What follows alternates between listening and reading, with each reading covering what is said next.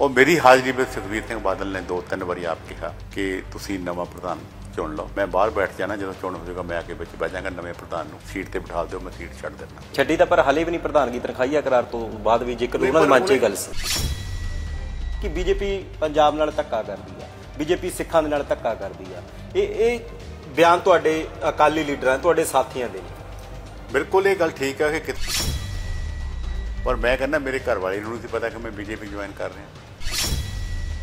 ਸੁਖਵੀਰ ਬਾਦਲ ਨਾਲ ਗੱਲਬਾਤ ਹੋਈ ਸੀ ਪਾਰਟੀ ਛੱਡਣ ਵੇਲੇ ਜਾਂ ਛੱਡਣ ਤੋਂ ਬਾਅਦ ਗੱਲ ਹੋਈ?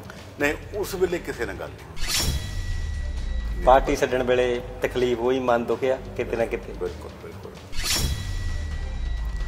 ਪਾਰਟੀ ਵੱਲੋਂ ਕੋਈ ਮੈਨੂੰ ਕੋਈ ਗਿਲਾ ਨਹੀਂ।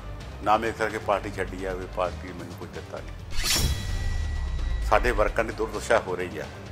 ਜੋ ਉਹਨਾਂ ਨਾਲ ਧੱਕਾ ਹੋ ਰਿਹਾ ਜੋ ਪੰਚਾਇਤਾਂ ਵਿੱਚ ਸਾਡੇ ਮੇਰੇ ਜਿੱਤਿਓ ਸਰਪੰਚ ਹਰਾਏ ਆ ਧੱਕੇ ਨਾਲ ਉਹ ਤਾਂ ਹੋਰ ਵਿਚਾਰੇ ਮਾਰੇ ਜਾਂਦੇ। ਤੇ ਮੈਂ ਅੱਖਾਂ ਬੰਦ ਕਰਕੇ ਬੈਠਾ ਰਹਿੰਦਾ। ਅਕਾਲੀ ਦਲ ਤੇ ਬੀਜੇਪੀ ਦਾ ਭਵਿੱਖ ਦੇ ਵਿੱਚ ਗੱਠਜੋੜ ਹੋ ਸਕਦਾ? ਕੀ ਸੋਚਦੇ ਹੋ? ਦੇਖੋ ਹੈ ਕੋਈ ਪਾਰਟੀ ਦੇ ਵਿੱਚ ਗੱਲਬਾਤ ਹੋ ਸਕਦਾ ਜਾਂ ਨਹੀਂ ਹੋ ਸਕਦਾ। ਇਹ ਮੈਂ ਨਹੀਂ ਕਹਿੰਦਾ ਵੀ ਹੋਣਾ ਜਾਂ ਨਹੀਂ ਹੋਣਾ। ਕਹਿੰਦੇ ਹੋ ਕਿ ਸੌਦਾ ਸਾਧ ਨੂੰ ਮਾਫੀ ਦੇਣੀ ਬੇਅਦਬੀ ਵਾਲਾ ਦੌਰ ਡੀਜੀਪੀ ਲਾਉਣਾ ਸਮੇਤ ਸੈਣੀ ਨੂੰ ਇਹ ਸਾਰੀਆਂ ਚੀਜ਼ਾਂ ਨੇ ਅਕਾਲੀ ਦਲ ਨੂੰ ਨਿਘਾਰ ਵੱਲ ਲੈ ਕੇ ਆਂਦਾ। ਇਹ ਸਾਰੀਆਂ ਗਲਤੀਆਂ ਸੀ। ਪੰਜਾਬ ਦੀਆਂ ਜਿਮਨੀ ਚੋਣਾਂ ਦੇ ਵਿੱਚ ਜਿੱਥੇ ਕਿ ਰਵਾਇਤੀ ਪਾਰਟੀਆਂ ਪੂਰੀ ਬਾਹ ਲਾ ਰਹੀਆਂ ਨੇ, ਉੱਥੇ ਹੀ ਬੀਜੇਪੀ ਵੀ ਚਾਹੁੰਦੀ ਆ ਕਿ ਪੰਜਾਬ ਦੇ ਵਿੱਚ ਉਹਨਾਂ ਦੀ ਪਾਰਟੀ ਦਾ ਭਵਿੱਖ ਹੋਵੇ। ਤਾਂ ਬੀਜੇਪੀ ਵੀ ਚੋਣ ਮੈਦਾਨ ਦੇ ਵਿੱਚ ਪੂਰੇ ਤਰੀਕੇ ਦੇ ਨਾਲ ਕੁੱਦ ਚੁੱਕੀ ਆ।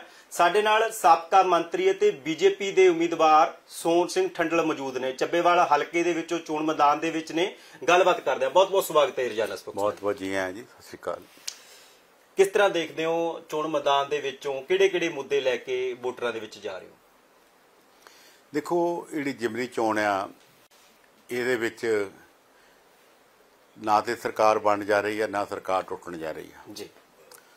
ਪਰ ਜੋ ਹਾਲਾਤ ਬਣੇ ਆ ਪੰਜਾਬ ਦੇ ਅੱਜ ਉਹ ਹਾਲਾਤ ਇਸ ਚੀਜ਼ ਦੀ ਮੰਗ ਕਰਦੇ ਆ ਕਿ ਜਿਹੜੀ ਮੌਜੂਦਾ ਸਰਕਾਰ ਵੱਡਾ ਬਹੁਮਤ ਲੈ ਕੇ ਬਣੀ ਸੀ ਜਿਹਦੇ 92 ਐਮਐਲਏ ਜਿੱਤੇ ਔਰ ਜਿਹਨੇ ਬਹੁਤ ਵੱਡੇ ਵਾਅਦੇ ਵੀ ਕੀਤੇ ਬਦਲਾਅ ਦੀਆਂ ਗੱਲਾਂ ਵੀ ਕੀਤੀਆਂ। ਉਹ ਸਰਕਾਰ ਅੱਜ ਹਰ ਮੁੱਦੇ ਦੇ ਉੱਪਰ ناکਾਮ ਹੋਈ ਆ ਫੇਲ ਹੋਈ ਆ। ਪੰਜਾਬ ਵਿੱਚ ਕੋਈ ਕਿਸੇ ਦੇ ਅੱਜ ਸਾਰ ਲੈਣ ਵਾਲਾ ਨਜ਼ਰ ਨਹੀਂ ਆ ਰਿਹਾ। ਸਭ ਤੋਂ ਮਾੜੀ ਕੰਡੀਸ਼ਨ ਜਿਹੜੀ ਆ ਉਹ ਡਾਂਡ ਆਰਡਰ ਦੀ ਆ।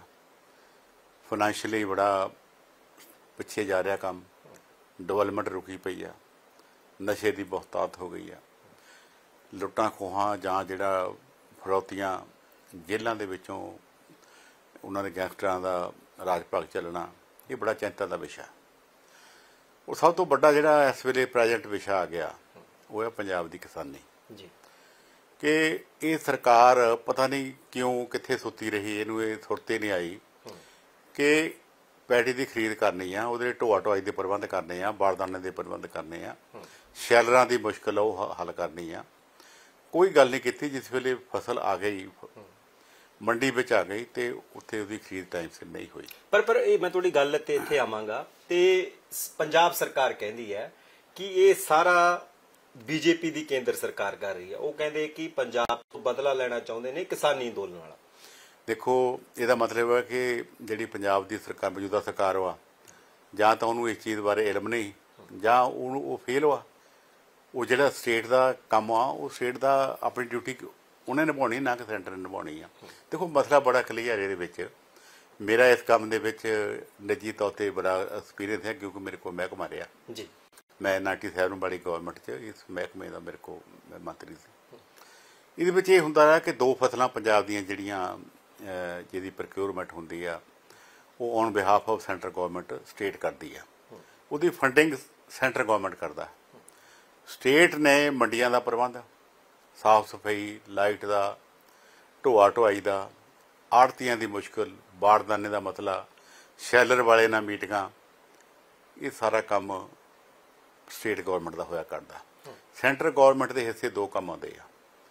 ਪਹਿਲਾ ਕੰਮ ਕਿ ਉਹਨਾਂ ਨੇ ਫੰਡਿੰਗ ਕਰਨੀ ਹੈ ਦੂਸਰਾ ਕੰਮ ਆ ਕਿ ਉਹਨਾਂ ਨੇ ਜਿਹੜੀ ਫਸਲ ਖਰੀਦੀ ਆ ਚਾਹੇ ਕਣਕ ਆ ਚਾਹੇ ਰਾਈਸ ਆ ਉਹਨੂੰ ਟਾਈਮ ਟੂ ਟਾਈਮ ਇੱਥੋਂ ਮੂਵ ਕਰਨਾ।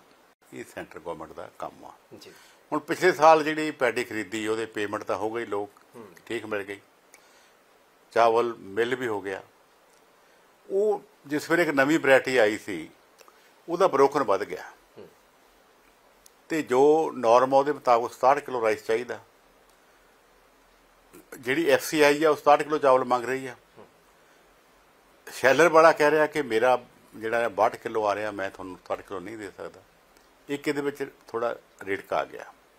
ਚਾਹੀਦਾ ਇਹ ਸੀ ਕਿ ਜਿਹੜੀ ਸੈਂਟਰ ਗਵਰਨਮੈਂਟ ਆ ਉਹ ਇਸ ਮਸਲੇ ਨੂੰ ਲੈ ਕੇ ਸੈਂਟਰ ਨਾਲ ਡਿਸਕਸ ਕਰਦੀ। ਆਪਣਾ ਕੋਈ ਸਪੈਸ਼ਲ ਬਣਾ ਕੇ ਕੋਈ ਲੈਟਰ ਕੋਈ ਹੋਰ ਪ੍ਰੋਗਰਾਮ ਉਹ ਸੈਂਟਰ ਨੂੰ ਦਿੰਦੇ ਕਿ ਸਾਡੀ ਜਿਹੜੀ ਹੈ 67 ਤੋਂ ਇਹਨੂੰ ਘਟਾਇਆ ਜਾਵੇ। ਜਾਂ ਜਿਹੜਾ ਕੁਝ ਇਹਦੀ ਜਿਹੜਾ ਪੈਸਾ ਸ਼ੈਲਰ ਵਾਲੇ ਨੂੰ ਪੈਣਾ ਆ ਉਹ ਸੈਂਟਰ ਗਵਰਨਮੈਂਟ ਸਾਨੂੰ ਹੋਰ ਦੇਵੇ ਤਾਂ ਕਿ ਇਹ ਰਾਈਸ ਚੱਕ ਲਿਆ ਜਾਵੇ। ਜਾਂ ਅੱਜ ਕੱਲ੍ਹ ਤੇ ਵੀ ਗੱਲ ਆ ਕਿ ਜਿੱਦਾਂ ਚਾਈਨਾ ਵਰਕ ਆਇਆ ਉਹ ਬਰੋਕਨ ਤੋਂ ਦੁਬਾਰਾ ਫੇਰ ਰਾਈਸ ਬਣਾ ਰਿਹਾ। ਟੈਕਨੋਲੋਜੀ ਨਵੀਂ ਆ ਗਈ। ਸਾਡੇ ਦੇਸ਼ ਵਿੱਚ ਵੀ ਬਹੁਤ ਸਾਰੇ ਇਦਾਂ ਦੇ ਸੂਬੇ ਆ ਜਿੱਥੇ ਲੋਕ ਜਿਹੜੇ ਆ ਉਹ ਰਾਈਸ ਨੂੰ ਇਦਾਂ ਬਣਾ ਕੇ ਖਾਂਦੇ ਆ। ਉਹ ਬਰੋਕਨ ਵੀ ਚੱਕ ਲੈਂਦੇ ਉਹ ਵੱਖਰਾ ਚੱਕਿਆ ਜਾ ਸਕਦਾ ਸੀ ਵੇਟ ਪੂਰਾ ਕਰਕੇ। ਪਰ ਸਟੇਟ ਨੂੰ ਇਸ ਗੱਲ ਦੀ ਖਬਰ ਹੀ ਨਹੀਂ। ਨਾ ਸੈਂਟਰ ਨੂੰ ਕੋਈ ਚਿੱਠੀ ਲਿਖੀ ਨਾ ਕੋਈ ਨਾ ਕੋਈ ਸਪੈਸ਼ਲ ਪੈਕਸ ਮੰਗਿਆ ਨਾ ਜਾ ਕੇ ਉੱਥੇ ਕੋਈ ਸਟੇਟ ਦਾ ਮਿਨਿਸਟਰ ਬੈਠਾ ਗਿਆ ਨਾ ਸਟੇਟ ਦਾ ਮੁੱਖ ਮੰਤਰੀ ਸੈਂਟਰ ਦੇ ਵਿੱਚ ਗਿਆ।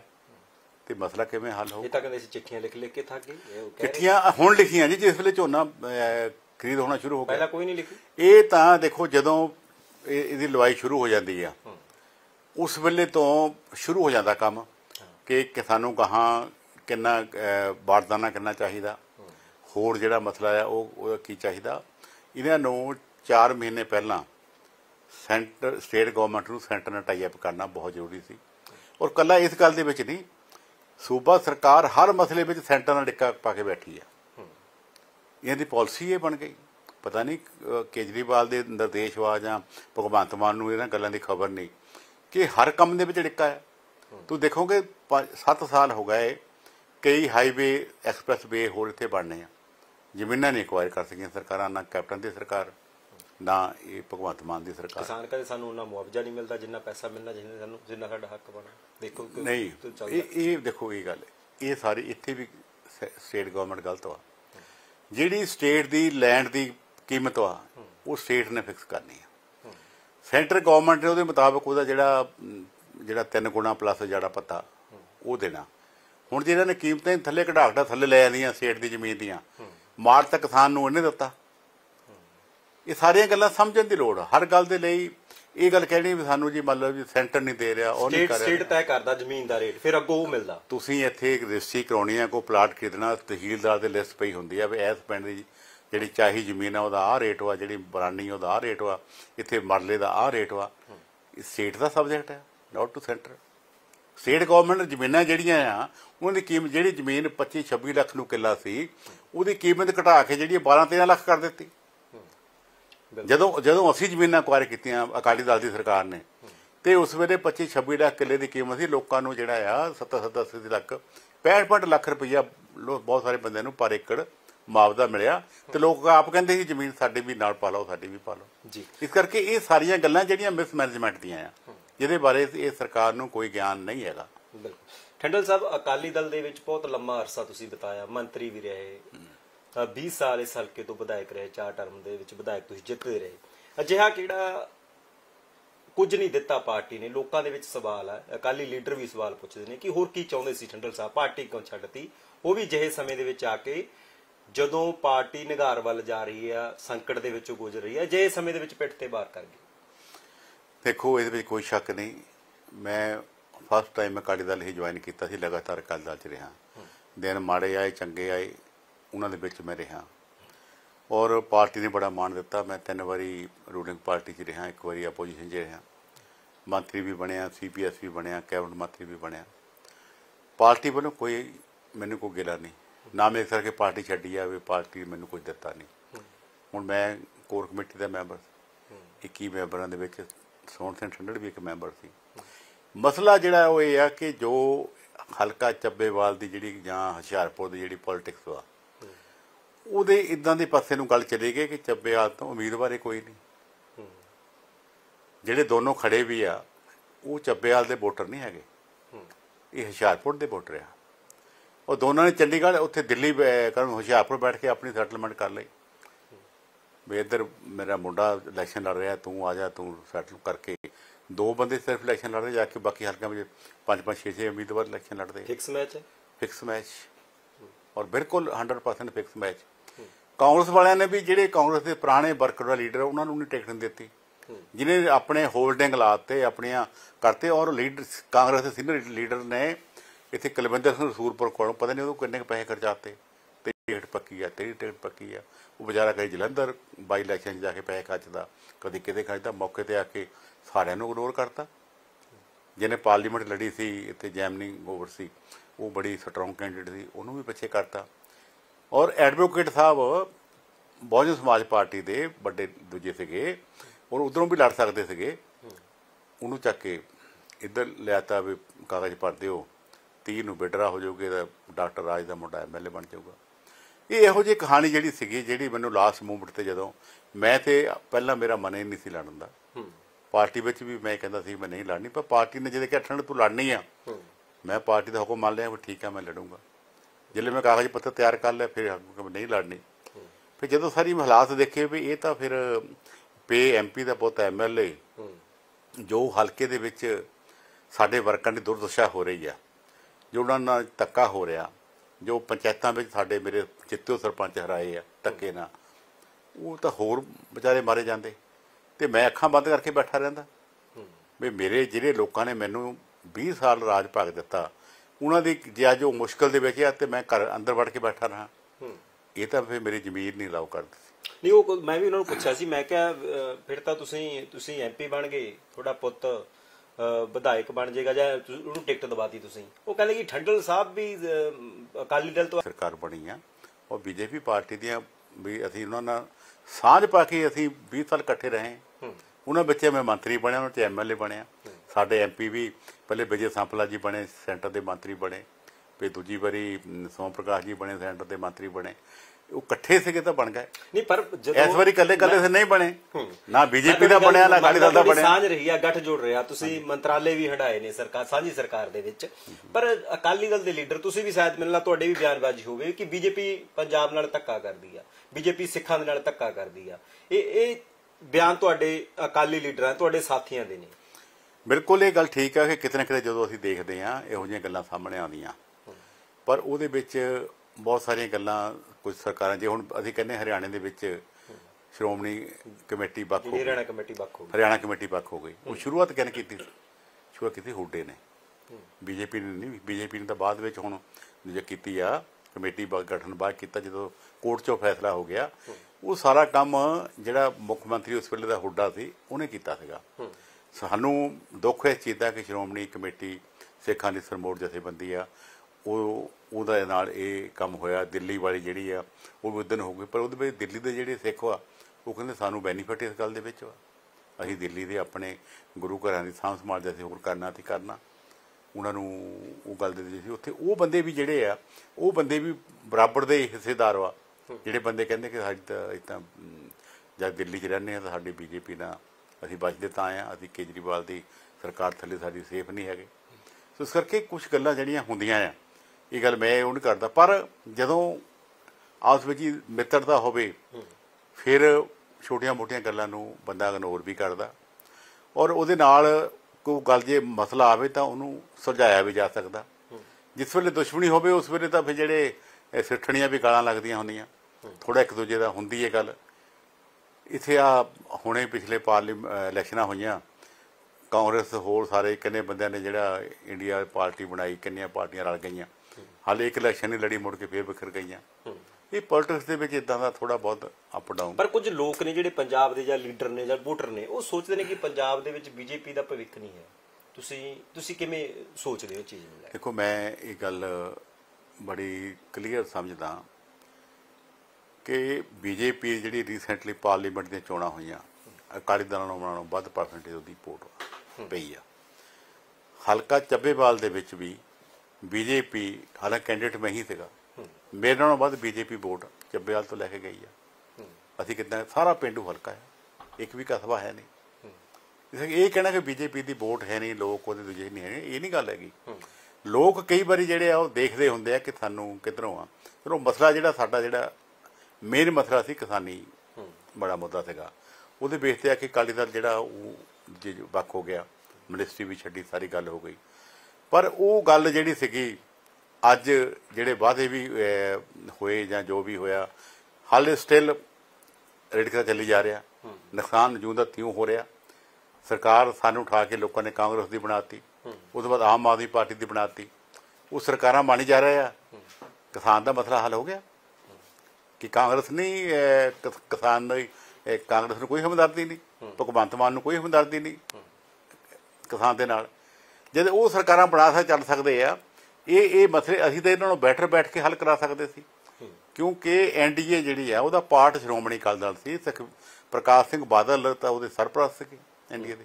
ਅਸੀਂ- ਅਸੀਂ Shiromani Akali Dal part of NDA NDA ਵਿੱਚ ਬੈਠ ਕੇ ਅਸੀਂ ਵੀ ਜੇ ਗੱਲ ਕਰਦੇ, ਚਲੋ ਉਸ ਵੇਲੇ ਕਾਲੀ ਕਾਲੀ ਵਿੱਚ ਬਿੱਲ ਆਏ, ਹਾਊਸ ਦੇ ਵਿੱਚ ਆਏ, ਸਾਨੂੰ ਪਤਾ ਲੱਗਾ ਗਲਤ ਆ ਅਸੀਂ ਉਹਨਾਂ ਨੂੰ ਵਿਰੋਧਤਾ ਕਰਤੀ। ਪਰ ਉਸ ਤੋਂ ਬਾਅਦ ਉਹਨੂੰ ਪੜ੍ਹ ਕੇ ਉਹਦੇ ਵਿੱਚ ਅਮੈਂਡਮੈਂਟਾਂ ਹੋਰ ਹੋ ਸਕਦੀਆਂ ਹੁੰਦੀਆਂ। ਜੇ ਇੱਕ ਵਾਰੀ ਬਿੱਲ ਹੋ ਗਿਆ ਵਾਪਸ ਨਹੀਂ ਹੁੰਦੇ ਹੁੰਦੇ ਇਹ ਚ ਅਮੈਂਡਮੈਂਟ ਹੁੰਦੀ ਹੁੰਦੀ ਹੈ ਤੁਸੀਂ ਇੱਕ ਕਲੌਜ ਦੀ ਦੁਬਾਰਾ ਫਿਰ ਅਮੈਂਡਮੈਂਟ ਅਗਲੇ ਸਜਮ ਵਿੱਚ ਅਮੈਂਡਮੈਂਟ ਕਰਾ ਲੈਂਦੇ। ਚਲੋ ਵਿਰੋਧ ਤੋਂ ਬਾਅਦ ਰੱਦ ਕਰਨੇ ਪਏ ਫਿਰ ਪ੍ਰਧਾਨ ਮੰਤਰੀ ਨੂੰ ਕੇ ਨਹੀਂ ਜੀ ਤੁਸੀਂ ਆਪਾਂ ਹੀ ਐਵੇਂ ਕਹਿੰਦੇ ਲੋਕਾਂ ਨੇ ਰੱਦ ਕੀਤੇ। ਰੱਦ ਕੀ ਕਰਨੇ ਹੁੰਦੇ? ਵੀ ਸੁਧਾਰ ਸੋਧ ਹੋਈ ਹੈ? ਇਹ ਜੋ ਪਾਰਲੀਮੈਂਟ 'ਚ ਇੱਕ ਵਾਰੀ ਹੋ ਗਿਆ ਤੁਸੀਂ ਗਾਹਾਂ ਉਸੇ ਦੁਆ ਕਰਨੀ ਉਹਦੇ ਵਿੱਚ ਕਲੌਜ ਟੂ ਕਲੌਜ ਜਿਹੜੀ ਆ ਉਹ ਅਮੈਂਡਮੈਂਟ ਹੋ ਜਾਂਦੀ ਹੂੰ ਸੋਧ ਹੋ ਗਈ ਚਲੋ। ਅਮੈਂਡਮੈਂਟ ਹੋ ਗਈ। ਤੇ ਇੱਕ ਚੀਜ਼ ਹੋਰ ਵਰਕਰਾਂ ਨੂੰ ਕਿਵੇਂ ਨਾਲ ਲੈ ਕੇ ਚੱਲੋਗੇ ਅਕਾਲੀ ਦਲ? ਉਹ ਵੀ ਕਹਿੰਦੇ ਰੁੱਸੇ ਪਏ ਨੇ ਸਾਨੂੰ ਤਾਂ ਪਤਾ ਹੀ ਨਹੀਂ ਲੱਗਿਆ ਵੀ ਸਾਡੇ ਲੀਡਰ ਤਾਂ ਦੇਖੋ ਉਹਨਾਂ ਦੀ ਗੱਲ ਸਵੇਰੇ ਪਤਾ ਲੱਗਿਆ ਵੀ ਸਾਨੂੰ ਤਾਂ ਵੀ ਇੱਧਰ ਚਲੇ ਗਏ।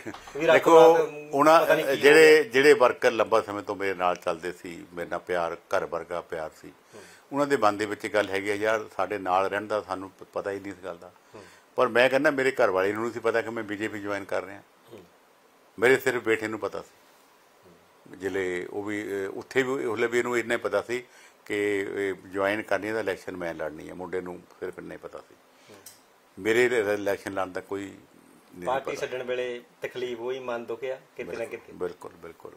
ਪਾਰਟੀ ਹਾਲੇ ਵੀ ਮੈਂ ਅੱਜ ਉੱਥੇ ਬੁਕੜ ਰਿਹਾ ਸੀ ਤਾਂ ਮੇਰੇ ਮੂੰਹ ਚੋਂ ਸ਼੍ਰੋਮਣੀ ਕਰਦਾ ਲਈ ਨਿਕਲ ਗਿਆ। ਲੋਕ ਬੜਾ ਹੱਸੇ। ਮੈਂ ਕਿਹਾ ਯਾਰ ਇੰਨਾ ਲੰਬਾ ਸਮਾਂ ਰਹੇ ਆ। ਕਿਉਂਕਿ ਅਸਲ ਕੀ ਆ ਕਿ ਮੈਨੂੰ ਅੱਜ ਵੀ ਕੋਈ ਗਰਜ ਨਹੀਂ ਸ਼੍ਰੋਮਣੀ ਅਕਾਲੀ ਦਲ ਨਾਲ। ਜਾਂ ਵੀ ਮੈਂ ਕਹਾਂ ਵੀ ਮੈਨੂੰ ਸੁਖਬੀਰ ਸਿੰਘ ਬਾਦਲ ਨੇ ਅਵਲਾਈਜ਼ ਨਹੀਂ ਕੀਤਾ ਮੈਨੂੰ ਮੇਰੀ ਪਾਰਟੀ ਨੇ ਕੁਝ ਕਹਿਤਾ ਉਹ ਨਹੀਂ ਗੱਲ ਕੋਈ ਵੀ। ਸੁਖਵੀਰ ਬਾਦਲ ਨਾਲ ਗੱਲਬਾਤ ਹੋਈ ਸੀ ਪਾਰਟੀ ਛੱਡਣ ਵੇਲੇ ਜਾਂ ਛੱਡਣ ਤੋਂ ਬਾਅਦ ਗੱਲ ਹੋਈ? ਨਹੀਂ ਉਸ ਵੇਲੇ ਕਿਸੇ ਨਾਲ ਗੱਲ ਨਹੀਂ ਹੋਈ। ਜੇ ਸ਼ਾਇਦ ਹੁੰਦੀ ਤਾਂ ਫਿਰ ਸ਼ਾਇਦ ਮੈਨੂੰ ਨਾ ਨਹੀਂ ਜਾਣ ਦਿੰਦੇ ਕਿਉਂਕਿ ਏਡਾ ਵੱਡਾ ਲੰਬਾ ਸਬੰਧ ਨਾਲ ਸ਼ਾਇਦ ਨਾ ਹੀ ਜਾਣ ਦਿੰਦੇ। ਪਰ ਮੈਂ ਦੇਖੋ ਸਹੀ ਗੱਲ ਬਾਰ-ਬਾਰ ਇਹ ਗੱਲ ਕਹਿਣਾ ਮੈਂ ਪਹਿਲੇ ਦਿਨ ਤੋਂ ਗੱਲ ਕਹਿ ਰਿਹਾ। ਕਿ ਮੈਂ ਆਪਣੇ ਹਲਕੇ ਦੇ ਜੋ ਲੋਕਾਂ ਦੇ ਨਾਲ ਹੋ ਰਿਹਾ ਅਨਜਸਟਿਸ ਹੋ ਰਿਹਾ ਦੋ ਤਿੰਨ ਮਸਲੇ ਹੋਰ ਵਾ। ਨਸ਼ਾ ਇਸ ਹਲਕੇ ਦੇ ਵਿੱਚ ਬਹੁਤ ਪੈਰ ਪਸਾਰ ਗਿਆ। ਸਰਕਾਰਾਂ ਪੁਲਿਸ ਅੱਖਾਂ ਮੀਟ ਕੇ ਬੈਠੀਆਂ। ਮੈਨੂੰ ਡਰੱਗ ਦੀ ਤੁਸੀਂ ਗੱਲ ਕੀਤੀ ਮੈਂ ਚੱਬੇਵਾਲ ਨੂੰ ਸਵਾਲ ਕੀਤਾ ਤੁਹਾਡੇ ਨਾਲ ਮੈਂ ਸੁਣ ਲਿਆ ਸੀ ਤੁਹਾਡੀ ਸਪੀਚ ਉਹ ਕਹਿੰਦੇ ਵੀ ਕਿ ਇਹਨਾਂ ਦੀ ਸਰਕਾਰਾਂ ਦੇ ਵਿੱਚ ਵਧਿਆ ਫੁੱਲਿਆ ਇਹੀ ਕਹਿੰਦੇ ਲੈ ਕੇ ਆਏ ਨੇ ਇਹਨਾਂ ਦੇ ਲੀਡਰਾਂ ਤੇ ਵੀ ਕਹਿੰਦੇ ਇਲਜ਼ਾਮਬਾਜ਼ੀ ਹੁੰਦੀ ਰਹੀ ਹੈ ਲੱਗਦੇ ਰਹੇ ਮੇਰੀ ਨੇ। ਮੇਰੀ ਇੱਕ ਮਿੰਟ ਗੱਲ ਸੁਣੋ। ਮੈਂ 20 ਸਾਲ ਦੇ ਟਾਈਮ ਦੇ ਵਿੱਚ ਕੋਈ ਅੱਜ ਚੱਬੇ ਵਾਲ ਵੀ ਦੱਸ ਦਵੇ ਵੀ ਸੋਹਣ ਸਿੰਘ ਠੰਡਲ ਉਹਦੇ ਪਰਿਵਾਰ ਦਾ ਮੈਂਬਰ ਉਹਦਾ ਕੋਈ ਵਰਕਰ ਨਸ਼ਾ ਵੇਚਦਾ ਸੀ। ਨਸ਼ਾ ਵੇਚਦਾ ਸੀ। ਅੱਜ ਤਾਂ ਲੋਕ ਸਿੱਧਾ ਇਹਨਾਂ ਦੇ ਦੋਸ਼ ਲਾਉਂਦੇ ਆ। ਸਿੱਧਾ ਇਹਨਾਂ ਦੇ ਇਹਨਾਂ ਦੇ ਜਿਹੜੇ ਬੰਦੇ ਜਿਹੜੇ ਹਰ ਵੇਲੇ ਇਹਨਾਂ ਦੇ ਨਾਲ ਰਹਿੰਦੇ ਜਿਹਨਾਂ ਨੂੰ ਇਹਨਾਂ ਨੇ ਹੁਣ ਧੱਕੇ ਨਾਲ ਸਰਪੰਚ ਵੀ ਬਣਾਤਾ, ਹੋਰ ਵੀ ਦੁਆ ਕਰ ਰਹੇ ਆ, ਉਹ ਤਾਂ ਹਰ ਵੇਲੇ ਉਹਨਾਂ ਦੀ ਤਾਂ ਕੰਮ ਹੀ ਇਹ ਚੱਲ ਰਿਹਾ। ਇੱਕ ਮੈਂ ਇਦਾਂ ਤੁਹਾਨੂੰ ਮੈਂ ਉਦਾਹਰਨ ਦੇਣੀ ਆ, ਇੱਕ ਇਦਾਂ ਦਾ ਪਰਿਵਾਰ ਵਾ। ਦੋ ਮੁੰਡੇ, ਨੌਜਵਾਨ ਮੁੰਡੇ 6-6 ਫੁੱਟੇ।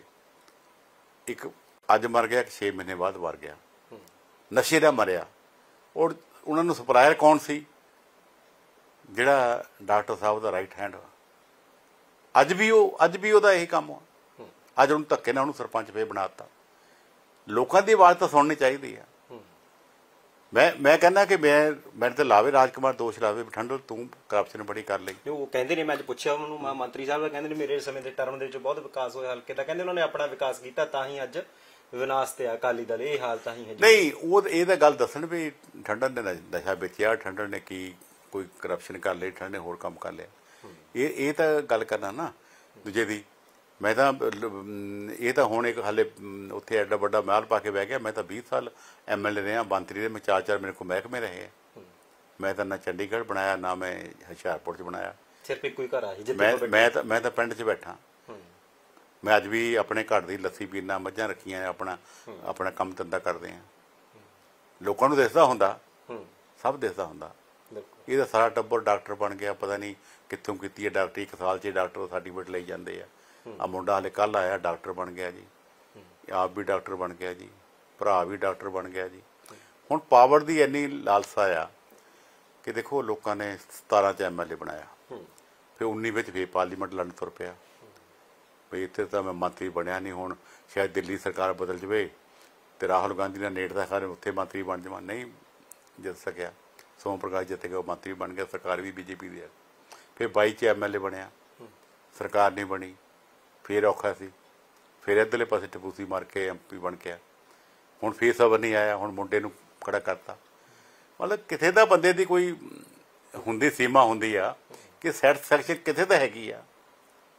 ਇਹ ਤਾਂ ਹੈ ਨਹੀਂ। ਹੁਣ ਤੁਸੀਂ ਦੇਖੋ ਪਹਿਲਾਂ ਆਪਣੇ ਭਰਾ ਨੂੰ ਐਮਐਲਏ ਦੀ ਲਾਉਣ ਦੀ ਗੱਲ ਕਰਦਾ ਸੀ। ਉਹਨੇ ਕਹਾ ਉਹ ਫਿਰਦਾ ਵੀ ਤਾਂ ਹਲਕੇ 'ਚ। ਸਾਰੇ ਚੰਗੇ ਮਾੜੇ ਕੰਮਾਂ 'ਚ ਉਹਦੀ ਸ਼ਮੂਲੀਅਤ ਹੁੰਦੀ ਸੀ। ਅੱਜ ਉਹਨੂੰ ਲਿਜਾ ਕੇ ਪਿੰਡ ਦਾ ਸਰਪੰਚ ਬਣਾਤਾ ਮੁੰਡੇ ਨੂੰ ਐਮਐਲਏ ਦੀ ਟਿਕਟ ਦੇ ਦਿੱਤੀ। ਹੁਣ ਭਰਾ ਨੂੰ ਪਿੱਛੇ ਕਰਤਾ। ਮਤਲਬ ਇਹੋ ਜਿਹੇ ਜਿਹੜੇ ਬਹੁਤ ਸਾਰੇ ਮਸਲੇ ਆ ਉਹ ਉਹ ਹੈਗੇ ਆ। ਸੋ ਬਾਕੀ ਹੁਣ ਦੇਖਦੇ ਆ। ਤੇ ਮੁਕਾਬਲਾ ਕਿਸ ਨਾਲ ਮੰਨਦੇ ਹੋ? ਕੀ ਲੱਗਦਾ? ਦੇਖੋ ਅੱਜ ਦੀ ਡੇਟ ਦੇ ਵਿੱਚ ਐਵੇਂ ਕੋਈ ਜਿੱਦਾਂ ਮਰਜ਼ੀ ਗੱਪਾਂ ਮਾਰੀ ਜਾਵੇ। ਹਾਲੇ ਲੋਕਾਂ ਦੇ ਮਨ ਨਹੀਂ ਖੁੱਲੇ। ਉਹਦਾ ਵੱਡਾ ਰੀਜ਼ਨ ਆ। ਕਿਉਂਕਿ ਇਹ ਕਹਿੰਦੇ ਜੀ ਵੇਵ ਬਣ ਗਏ ਅੱਗੇ ਹੁੰਦਾ ਸੀ ਵੀ ਵੇਵ ਬਣ ਗਏ ਜੀ। ਉਹਦੇ ਹੱਕ 'ਚ ਬਣ ਗਏ। ਕੋਈ ਵੇਵ ਨਹੀਂ। ਹਾਲੇ ਆ ਮੈਂ ਤਾਂ ਕੱਟ-ਕੁੱਟ ਕਰਦਾ ਹੀ ਆ ਮੇਰੇ ਇਕੱਠ ਹੁੰਦੇ ਆ ਮੈਂ ਮੇਰੇ ਲੀਡਰ ਵੀ ਨਾਲ ਸੰਬੋਧਨ ਕਰਦੀ ਆ। ਨਾ ਹਾਲੇ ਕਾਂਗਰਸ ਦੀ ਕਿਤੇ ਮੈਂ ਸਟੇਜ ਲੱਗੀ ਦੇਖੀ ਆ ਨਾ ਹਾਲੇ ਮੈਂ ਆਮ ਆਦਮੀ ਚੁੱਪ ਪਾਰਟੀ ਨੇ ਵੋਟਰ ਚੁੱਪਾ ਵੋਟਰ ਵੋਟਰ ਚੁੱਪਵਾ ਪਿੰਡਾਂ ਜਾਂਦੇ ਘਰਾਂ ਜਾਂਦੇ ਆ। ਹਾਲੇ ਵੀ ਇੰਨੇ ਟਾਈਮ ਤੋਂ ਬਾਅਦ ਵੀ ਡਾਕਟਰ ਰਾਜਕੁਮਾਰ ਨੂੰ ਪਿੰਡਾਂ 'ਚ ਜਿਹੜੇ ਉਹ ਜਾਲੀ ਪਹਿਲਾਂ ਸੈਂਕਸ਼ਨ ਲੈਟਰ ਵੰਡੇ ਸੀ ਉਹਦੇ ਤਹਿਤ ਅੱਜ ਵੀ ਫਾਰਮ ਭਰਨੇ ਪੈ ਰਹੇ ਆ। ਤੁਸੀਂ ਵੀ ਭਰ ਲਓ ਜੀ ਤੁਸੀਂ ਵੀ ਭਰ ਲਓ ਜੀ ਫਾਰਮ ਭਰ ਜੀ ਤੁਹਾਨੂੰ ਆ ਜਾਊਗੇ ਜੀ। ਉਹ ਤਾਂ ਕਹਿੰਦੇ ਵੀ ਭਵਿੱਖਬਾਣੀ ਕਰਕੇ ਨੇ ਕਹਿੰਦੇ ਵੀ ਸਭ ਤੋਂ ਵੱਧ ਵੋਟਾਂ ਦੇ ਨਾਲ ਅਸੀਂ ਹਲਕਾ ਫਤਿਹ ਕਰਾਂਗੇ ਚਾਰੇ ਸੀਟਾਂ ਤੋਂ। ਕੋਈ ਨਹੀਂ ਆਪਣੇ ਮਨ ਨੂੰ ਤਸੱਲੀ ਦੇਣ ਨੂੰ ਕੋਈ ਮਾੜਾ ਨਹੀਂ। ਜਿਹੜਾ ਬੰਦਾ ਮੈਦਾਨ 'ਚ ਆਉਂਦਾ ਸਭ ਜਿੱਤਣ ਨੂੰ ਹੀ ਆਉਂਦੇ ਆ। ਹਾਰਨ ਨੂੰ ਤਾਂ ਆਉਂਦਾ ਨਹੀਂ। ਪਰ ਫੈਸਲਾ ਤਾਂ ਲੋਕਾਂ ਨੇ ਕਰਨਾ ਹੁੰਦਾ। ਬਿਲਕੁਲ। ਅਕਾਲੀ ਦਲ ਦਾ ਭਵਿੱਖ ਕਿਸ ਤਰ੍ਹਾਂ ਦੇਖਦੇ ਹੋ? ਅਕਾਲੀ ਦਲ ਪੰਜਾਬ ਦੇ ਵਿੱਚ ਮੁੜ ਸਰਜੀਤ ਹੋ ਸਕਦਾ ਹੈ? ਇਹ ਵੀ ਮੰਨਣਾ ਹੈ ਕਿ ਲੋਕਾਂ ਦਾ ਕਿ ਜਿੰਨਾ ਜੇਕਰ ਬਾਦਲ ਪਰਿਵਾਰ ਪਿੱਛੇ ਨਹੀਂ ਹਟਦਾ ਸਵੀਰ ਬਾਦਲ ਪ੍ਰਧਾਨਗੀ ਤੋਂ ਪਿੱਛੇ ਨਹੀਂ ਹਟਦੇ ਵੀ ਅਕਾਲੀ ਦਲ ਸਰਵਾਈਵ ਨਹੀਂ ਕਰ ਸਕਦਾ। ਤੁਸੀਂ ਕੀ ਸੋਚਦੇ ਹੋ? ਬਹੁਤ ਲੰਮਾ ਸਮਾਂ ਅਕਾਲੀ ਦਲ ਚ ਬਤਾਇਆ। ਅਕਾਲੀ ਦਲ ਦਾ ਭਵਿੱਖ ਹੈ ਪੰਜਾਬ ਚ ਮੁੜ? ਦੇਖੋ ਜਿਹੜੀਆਂ ਪਾਰਟੀਆਂ ਆ ਇਹ ਠੀਕ ਹੈ ਲੀਡਰ ਤੇ ਇੱਕ ਹੀ ਬਣਦਾ ਹੁੰਦਾ। ਪਰ ਪਾਰਟੀਆਂ ਦੇ ਵਿੱਚ ਇੱਕ ਡੈਮੋਕ੍ਰੇਟਿਕ ਸਿਸਟਮ ਬਣਿਆ ਹੁੰਦਾ। ਸ਼੍ਰੋਮਣੀ ਅਕਾਲੀ ਦਲ ਦੇ ਵਿੱਚ ਵੀ ਸਾਡੀ ਪਹਿਲਾਂ ਮੈਂਬਰਸ਼ਿਪ ਹੁੰਦੀ ਆ, ਭਰਤੀ ਹੁੰਦੀ ਆ। ਉਸ ਤੋਂ ਬਾਅਦ ਉਹਦੇ ਡੈਲੀਗੇਟ ਬਣਦੇ ਆ। ਫਿਰ ਡੈਲੀਗੇਟ ਜਿਹੜੇ ਆ, ਉਹ ਗਾਹਾਂ ਮੈਂਬਰ ਚੁਣਦੇ ਆ। ਫਿਰ ਵਰਕਿੰਗ ਕਮੇਟੀ ਬਣਦੀ ਆ। ਵਰਕਿੰਗ ਕਮੇਟੀ ਫਿਰ ਗਾਹਾਂ ਪ੍ਰਧਾਨ ਚੁਣਦੀ ਆ। ਇਸ ਤਰੀਕੇ ਦੇ ਨਾਲ ਇਹ ਸਾਡੇ ਜਿਹੜੇ ਆ ਸਿਸਟਮ ਇਹ ਬਣਿਆ, ਪ੍ਰਧਾਨ ਚੁਣੇ ਗਏ ਆ। ਉਹ ਪ੍ਰਧਾਨ ਜੇ ਬਦਲਣਾ ਆ, ਤੇ ਫਿਰ ਇਹ ਪ੍ਰੋਸੈਸ ਅਡਾਪਟ ਕਰਨਾ ਪੈਂਦਾ ਕਿ ਵਰਕਿੰਗ ਕਮੇਟੀ ਦੇ ਵਿੱਚ ਬਤਾਵੇ। ਉੱਥੇ ਜੇ ਮੈਜੋਰਟੀ ਲੋਕ ਚਾਹਣ ਵੀ ਪ੍ਰਧਾਨ ਨੂੰ ਇਹਨੂੰ ਬਦਲ ਦਿਓ, ਤੇ ਬਦਲ ਜਾਂਦਾ। ਉਹ ਮੇਰੀ ਹਾਜ਼ਰੀ ਵਿੱਚ ਸੁਖਵੀਰ ਸਿੰਘ ਬਾਦਲ ਨੇ ਦੋ ਤਿੰਨ ਵਾਰੀ ਆਪ ਕਿਹਾ ਕਿ ਤੁਸੀਂ ਨਵਾਂ ਪ੍ਰਧਾਨ ਚੁਣ ਲਓ। ਮੈਂ ਬਾਹਰ ਬੈਠ ਜਾਣਾ, ਜਦੋਂ ਚੋਣ ਹੋ ਜਾਊਗਾ ਮੈਂ ਆ ਕੇ ਵਿੱਚ ਬਹਿ ਜਾਵਾਂਗਾ ਨਵੇਂ ਪ੍ਰਧਾਨ ਨੂੰ। ਸੀਟ ਤੇ ਬਿਠਾ ਦਿਓ, ਮੈਂ ਸੀਟ ਛੱਡ ਦਿੰਦਾ। ਔਰ ਇਹ ਇਹ ਕੋਈ ਗੱਲ ਇਹ ਨਹੀਂ ਕਿ ਮੈਨੂੰ ਕੋਈ ਇਸ ਚੀਜ਼ ਦੇ ਪਿੱਛੇ ਕੋਈ ਲਾਲਚ ਹੈ। ਉਹਨੇ ਆਪ ਕਿਹਾ ਕਿ ਮੈਨੂੰ ਜੇ ਸਾਰੇ ਚਾਹੁੰਦੇ ਆ, ਮੈਂ ਛੱਡ ਦਿੰਦਾ। ਆ ਜਿਹੜੇ ਮੇਰੇ ਭਰਾ ਰੌਲਾ ਵੀ ਪਾਉਂਦੇ ਸੀ ਇਹਨਾਂ ਨੂੰ ਵੀ ਕਿਹਾ ਤੁਸੀਂ ਬਾਹਰ ਕੱਲੇ ਰੌਲਾ ਪਾਉਨੇ ਆਓ ਮੀਟਿੰਗ ਵਿੱਚ ਆ ਕੇ ਮਤਾ ਲੈ ਆਓ। ਨਹੀਂ ਆਏ। ਔਰ ਜਿਲੇ ਇਹ ਬਾਹਰ ਹੋਏ ਆ ਉਸ ਵੇਲੇ ਮਤਾ ਆਇਆ ਮਰਹਕ ਕਮੇਟੀ ਵਿੱਚ ਮਤਾ ਆਇਆ। ਔਰ ਸਰਬਸੰਮਤੀ ਨਾਲ ਜਿਹੜੇ ਆ ਉਹ ਬੰਦਿਆਂ ਨੇ ਫੈਸਲਾ ਕਰਤਾ ਕਿ ਸੁਖਬੀਰ ਸਿੰਘ ਬਾਦਲ ਹੀ ਸਾਡਾ ਪ੍ਰਧਾਨ ਹੋਊਗਾ। ਨਹੀਂ ਕਈ ਲੀਡਰ ਕੋਰ ਨਹੀਂ ਹੁਣ ਮੈਂ ਹੁਣ ਮੈਂ ਗੱਲ ਕਰ ਰਿਹਾ। ਹੁਣ ਤੁਸੀਂ ਦੇਖੋ ਇਧਰੋਂ ਅਕਾਲ ਤਖਤ ਸਾਹਿਬ ਤੋਂ ਹੁਕਮਨਾਮਾ ਆ ਗਿਆ। ਹੋ ਗਿਆ। ਤੁਸੀਂ ਦੇਖਿਓ ਉਦੋਂ ਦੇ ਆਰਾਮ ਨਾਲ ਘਰ ਬੈ ਗਏ ਆਪਣਾ ਕੰਮ ਕਰਦੇ ਆ। ਤੇ ਜੇ ਉਥੋਂ ਫਰਜ਼ ਕੀਤਾ ਜਹੇਦਾਰ ਸਾਹਿਬ ਜਾਂ ਕੋਈ ਹੋਰ ਜਾਂ ਪਾਰਟੀ ਕਹੇ ਵੀ ਨਹੀਂ ਤੁਸੀਂ ਜੀ ਹੁਣ ਇਹ ਨਹੀਂ ਦੂਜਾ। ਤੇ ਮੇਰਾ ਖਿਆਲ ਨਹੀਂ ਕਿ ਸੁਖਬੀਰ ਬਾਦਲ ਇਸ ਚੀਜ਼ ਨੂੰ ਡਰਾਈ ਕਰਨਗੇ ਜਾਂ ਪਕੜ ਬਣਾ ਕੇ ਰੱਖਣਗੇ। ਉਹ ਵੀ ਇਸ ਚੀਜ਼ ਦਾ ਹੁਣ ਆਪਣੇ ਕੋਈ ਪਰਿਵਾਰ ਦੇ ਕੰਮਾਂ ਦੇ ਵਿੱਚ ਵਿਆਹ ਬੇਟੀ ਦਾ ਕਰਨਾ ਜਾਂ ਹੋਰ ਕੰਮਾਂ ਦੇ ਵਿੱਚ। ਕਿਉਂਕਿ ਮੈਨੂੰ ਤੇ ਵੀ ਪਤਾ ਹੈ ਕਿ ਮੇਰੇ ਨਾਲ ਨੇੜਤਾ ਤੱਕ ਇੱਕ ਅਸੀਂ ਇਕੱਠੇ ਬੈਠੇ ਤਾਂ ਮੈਨੂੰ ਮੈਨੂੰ ਕੋਈ ਇਹ ਦੱਸ ਦੇ ਕਿ ਠੰਡ ਜਾ ਮੇਰਾ ਤਾਂ ਮਨ ਕਰਦਾ ਮੈਂ ਹੁਣ ਛੱਡ ਦਵਾਂ। ਰੱਬ ਨੇ ਬਹੁਤ ਕੁਝ ਦਿੱਤਾ ਆ। ਮੈਂ ਕੀ ਐ ਮੇਰੀ ਰਾਤ ਦਿਨ ਗਰਮੀ 'ਚ ਵੀ ਦੂਜੇ 'ਚ ਵੀ ਨੱਠਾ ਫਿਰਦਾ। ਮੈਂ ਕਿਹਾ ਜੀ ਗੱਲ ਐਵੇਂ ਨਹੀਂ ਹੁੰਦੀ। ਜਿਹੜਾ ਬੰਦਾ ਵੀ ਕਮਾਂਡਰ ਆ ਜਾਂ ਲੀਡਰ ਆ ਉਹਨੂੰ ਫੇਰ ਚਾਹੇ ਸਰਦੀ ਹੋਵੇ ਚਾਹੇ ਗਰਮੀ ਹੋਵੇ ਛੱਡੀ ਤਾਂ ਪਰ ਹਲੇ ਵੀ ਨਹੀਂ ਪ੍ਰਧਾਨਗੀ ਤਨਖਾਹੀਆ ਕਰਾਰ ਤੋਂ ਬਾਅਦ ਵੀ ਜੇਕਰ ਉਹਨਾਂ ਦੀ ਉਹਨੇ ਮਾਚੀ ਗੱਲ ਸੀ। ਉਹਨਾਂ ਨੇ ਇੱਕ ਤਿੰਨ ਦਾ ਕੰਮ ਤਾਂ ਸਟਾਪ ਕਰਤਾ ਨਾ। ਫ੍ਰੀ ਫ੍ਰੀ ਹੈਂਡੇ ਕਰਤਾ ਭੁੰਦੜ ਨੂੰ। ਕੋਈ ਉਹਨਾਂ ਵੱਲੋਂ ਕੋਈ ਮੀਟਿੰਗ ਤਾਂ ਨਹੀਂ ਹੋ ਰਹੀ ਕੋਈ ਗੱਲ ਨਹੀਂ ਹੋ ਰਹੀ। ਐਸਜੀਪੀ ਦੀ ਚੋਣ ਹੋਈ ਆ, ਉਹਨੇ ਉੱਥੇ ਵੀ ਮੀਟਿੰਗ ਨਹੀਂ ਲਈ। ਉਹ ਵੀ ਭੁੰਦਰ ਸਾਹਿਬ ਨੇ ਮੀਟਿੰਗ ਲਈਆਂ। ਇਸ ਕਰਕੇ ਕੋਈ ਐਡੀ ਗੱਲ ਨਹੀਂ ਹੈਗੀ। ਪਰ ਮੈਂ ਇੱਕ ਚੀਜ਼ ਜਿਹੜਾ ਤੁਸੀਂ ਪਹਿਲਾਂ ਸਵਾਲ ਕੀਤਾ ਕਿ ਅਕਾਲੀ ਦਲ ਕਿਵੇਂ ਸਰਵਾਈਵ ਕਰਨ ਨੂੰ, ਬਹੁਤ ਸਾਰੀਆਂ ਪਾਰਟੀਆਂ ਕਈ ਵਾਰੀ ਬਹੁਤ ਥੱਲੇ ਚਲ ਜਾਂਦੀਆਂ ਹੁੰਦੀਆਂ। ਸਾਡੇ ਦੇਖਦਿਆਂ ਦੇਖਦਿਆਂ ਅੱਜ ਜਿਹੜੀ ਭਾਰਤੀ ਜਨਤਾ ਪਾਰਟੀ ਆ, ਇਹ ਦੋ ਐਮਪੀ ਤੋਂ ਅੱਜ ਇਸ ਤੱਕ ਪਹੁੰਚ ਗਈ ਕਿ ਤਿੰਨ ਵਾਰੀ ਸਰਕਾਰ ਬਣਾ ਗਈ। ਕੋਈ ਕਹਿੰਦਾ ਸੀ? ਕਾਂਗਰਸ ਇੰਨੀ ਸਟਰੋਂਗ ਸੀ, ਮਨਮੋਹਨ ਸਿੰਘ ਵੀ ਕਿੰਨੇ ਵਾਰੀ ਪ੍ਰਧਾਨ ਮੰਤਰੀ ਬਣ ਗਏ। ਪਰ ਮੁੜ ਕੇ ਉਹ ਆਪੋਜੀਸ਼ਨ 'ਚ ਵੀ ਨਹੀਂ ਆ ਸਕੇ। ਚਲੋ ਹੁਣ ਆਏ ਆ ਹੁਣ ਆ ਕੇ ਵੀ ਕਦੋਂ ਸਰਵਾਈਵ ਕਰਦੇ ਕਦੋਂ ਨਹੀਂ ਕਰਦੇ ਇਹ ਇਹ ਪਤਾ ਨਹੀਂ। ਪਰ ਜਦੋਂ ਲੋਕਾਂ ਦੇ ਮਨ ਦੇ ਵਿੱਚ ਫੈਸਲਾ ਲੋਕ ਕਰ ਲੈਂਦੇ ਆ ਤੇ ਲੋਕ ਫਿਰ ਇੱਕ ਇਲੈਕਸ਼ਨ ਵਿੱਚ ਹੀ ਜਿਹੜਾ ਥੱਲੇ ਬੈਠਾ ਉਹਨੂੰ ਕੋਈ ਕਹਿੰਦਾ ਸੀ ਭਗਵੰਤ ਮਾਨ 92 ਸੀਟਾਂ ਲੈ ਜਾਊਗਾ? ਬਿਲਕੁਲ। ਲੈ ਗਏ। ਸੋ ਲੋਕਾਂ ਦੇ ਕੋਲ ਤਾਕਤ ਤੁਸੀਂ। ਤੁਸੀਂ ਕੀ ਮੰਨਦੇ ਹੋ ਕਿ ਅਕਾਲੀ ਦਲ ਤੇ ਬੀਜੇਪੀ ਦਾ ਭਵਿੱਖ ਦੇ ਵਿੱਚ ਗੱਠਜੋੜ ਹੋ ਸਕਦਾ? ਕੀ ਸੋਚਦੇ ਹੋ? ਦੇਖੋ ਹੈ ਹੋ- ਕੋਈ ਪਾਰਟੀ ਦੇ ਵਿੱਚ ਹੋ ਗੱਲਬਾਤ ਸਕਦਾ ਜਾਂ ਨਹੀਂ ਹੋ 27 ਦੇ ਸਕਦਾ? ਇਹ ਮੈਂ ਨਹੀਂ ਕਹਿੰਦਾ ਵੀ ਹੋਣਾ ਜਾਂ ਨਹੀਂ ਹੋਣਾ। ਪਰ ਮੈਂ ਇਹ ਜ਼ਰੂਰ ਕਹਿਣਾ ਵੀ ਜੇ ਹੋ ਜਵੇ ਤਾਂ ਮੁੜ ਕੇ ਦੋਨੋਂ ਪਾਰਟੀਆਂ ਇਕੱਠੀਆਂ ਹੋ ਕੇ ਪੰਜਾਬ ਦੀ ਸਰਕਾਰ ਵੀ ਬਣ ਸਕਦੀ ਆ ਤੇ ਸੈਂਟਰ ਵਿੱਚ ਤਾਂ ਆਲਰੇਡੀ ਹੈਗੀ ਆ। ਇਕੱਠੀ ਇਕੱਠੇ ਜੋ ਦੋਵੇਂ ਪਾਰਟੀਆਂ ਹੁੰਦੀਆਂ ਨੇ ਬਣ ਸਕਦੀ ਹੈ ਸਰਕਾਰ? ਕਿਉਂਕਿ ਤੁਸੀਂ ਦੇਖੋ ਨਾ ਅਮ, ਵੀ 97 ਤੋਂ ਲੈ ਕੇ 17 ਤੱਕ 20 ਸਾਲ ਦੇ ਟਾਈਮ ਦੇ ਵਿੱਚ ਚਲੋ ਦੋ ਦੇ ਵਿੱਚ ਵੀ ਉਹ ਵੀ ਅਕਾਲੀ ਦਲ ਟੌੜਾ ਸਾਹਿਬ ਪਿੱਛੇ ਹੋ ਗਏ। ਅਕਾਲੀ ਦਲ ਦੀਆਂ ਵੋਟਾਂ ਕੁਝ ਘਟ ਗਈਆਂ ਤੇ ਸਰਕਾਰ ਨਹੀਂ ਬਣੀ ਕੈਪਟਨ ਸਾਹਿਬ ਆ ਗਏ। ਅਸਾਂ ਜੇ 15 ਸਾਲ ਸਰਕਾਰ ਚੱਲੀ ਇਕੱਠੇ ਹੋ ਕੇ ਚੱਲੀ ਹੈ। ਔਰ ਜਿਹੜਾ ਕੰਮ ਉਸ 15 ਸਾਲ ਦੇ ਵਿੱਚ ਪੰਜਾਬ ਦਾ ਹੋਇਆ ਨਾ ਉਦੋਂ ਪਹਿਲਾਂ ਹੋਇਆ ਸੀ ਨਾ ਬਾਅਦ ਚ ਹੋਇਆ। ਦੋਨਾਂ ਦਾ ਗੁਜ਼ਾਰਾ ਨਹੀਂ ਇੱਕ ਦੂਜੇ ਬਿਨਾਂ ਫਿਰ? ਨਹੀਂ ਗੁਜ਼ਾਰਾ ਹੁਣ ਦੇਖੋ ਬੀਜੇਪੀ ਤਾਂ ਹੁਣ ਵੀ ਹੈਗਾ ਉਹਨੇ ਹੋਰ ਦੂਜਾ ਹੋ ਗਏ ਐਨਡੀਏ ਗਰੁੱਪ ਹੈਗਾ ਔਰ ਸਰਕਾਰ ਉਹਨਾਂ ਦੀ ਨਹੀਂ ਪੰਜਾਬ ਦੇ ਵਿੱਚ। ਪੰਜਾਬ ਦੇ ਵਿੱਚ ਕਿਉਂਕਿ ਗੱਠਜੋੜ ਪੰਜਾਬ ਵਿੱਚ ਜੁੜੇ ਹੋਏ ਨੇ ਇੱਕ ਦੇਖੋ। ਪੰਜਾਬ ਦੇ ਵਿੱਚ ਮੈਨੂੰ ਹਾਲੇ ਨਹੀਂ ਲੱਗਦਾ। ਪਰ ਕੱਲ ਦਾ ਜਿਹੜਾ ਭਵਿੱਖ ਪਤਾ ਨਹੀਂ ਕੀ ਹੁੰਦਾ ਗੱਲ ਲੋਕਾਂ ਦੀ ਸੋਚ ਬਦਲ ਜਵੇ ਵੀ ਅਕਾਲੀ ਦਲ ਤਾਂ ਥੱਲੇ ਚਲੇ ਗਿਆ। ਕਾਂਗਰਸ ਵਾਲਿਆਂ ਨੂੰ ਵੀ ਦੇਖ ਲਿਆ ਹੋਣਾ, ਝਾੜੂ ਵਾਲਿਆਂ ਨੂੰ ਵੀ, ਝਾੜੂ ਤਾਂ ਬੁਰੀ ਤਰ੍ਹਾਂ ਫੇਲ ਹੋ ਗਿਆ। ਤੇ ਲੋਕਾਂ ਦਾ ਜੇ ਬੰਦ ਹੋ ਜਵੇ ਤਾਂ ਲੋਕ ਕਰ ਸਕਦੇ ਆ।